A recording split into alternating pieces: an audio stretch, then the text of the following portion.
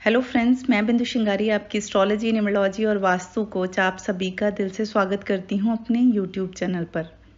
आज के इस वीडियो में हम जानेंगे कि कमज़ोर चंद्रमा को प्रभावशाली कैसे बना सकते हैं।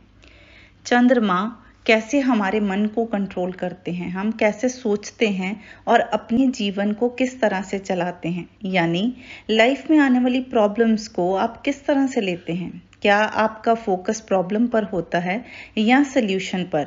ये सब हमें पता चलता है आप ही की कुंडली से। आपकी कुंडली में चंद्रमा अगर कमज़ोर होंगे तो आपका जल्दी से किसी भी सिचुएशन को देखकर या सुनकर घबरा जाना एनजाइटी पैनिक अटैक आना छोटी छोटी बात पर स्ट्रेस फील करना, किसी भी बात पर जल्दी से रिएक्ट कर देना नर्वस हो जाना छोटी सी बात को सोच सोच कर बड़ा बना लेना कमज़ोर चंद्रमा की निशानियाँ हैं। वहीं कुंडली में चंद्रमा अगर स्ट्रॉन्ग पोजीशन में होते हैं तो ऐसे लोग प्रॉब्लम्स को इजीली सॉल्व कर लेते हैं। बड़े ही पॉजिटिव एटीट्यूड के साथ उनका फोकस हमेशा सोल्यूशन बेस्ड होता है। यही नहीं, ये लोग अपने आसपास के लोगों को मेंटल और इमोशनल हेल्प देने के लिए भी हमेशा तैयार रहते हैं। तो आपको तो कुछ करने की ज़रूरत नहीं, ये उपाय उनके लिए हैं जिनका चंद्रमा कमज़ोर है।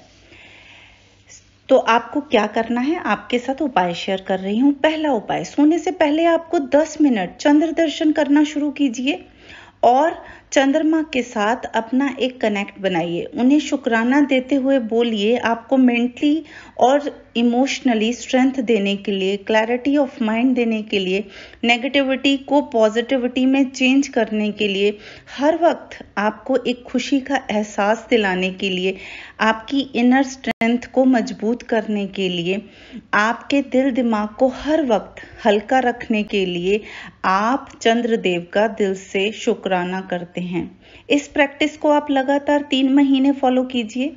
केवल इतना भर करने से कुछ ही समय में आपको अपने अंदर काफ़ी पॉजिटिव चेंजेस नज़र आने शुरू हो जाएँगे। आपकी लाइफ में क्लैरिटी आने लगेगी। आप प्रॉब्लम सॉल्वर बन जाएँगे। पॉजिटिव माइंडसेट के साथ आगे बढ़ना शुरू कर देंगे।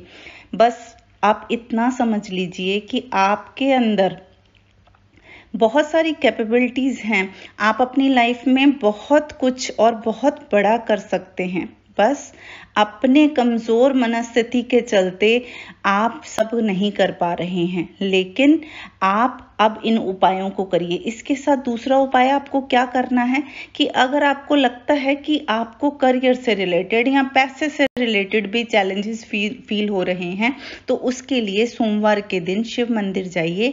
शिव जी को बेलपत्र से कच्चे चावल अर्पित कीजिए। इन दोनों उपायों को तीन महीने तक लगातार कर लीजिए। बस इतना करने मात्र से चंद्रमा की कृपा आप पर बरसनी शुरू हो जाएगी। तो फ्रेंड्स ये तो थी मेरी आज की वीडियो। जल्दी आपसे मिलती हूँ कुछ खास लेकर।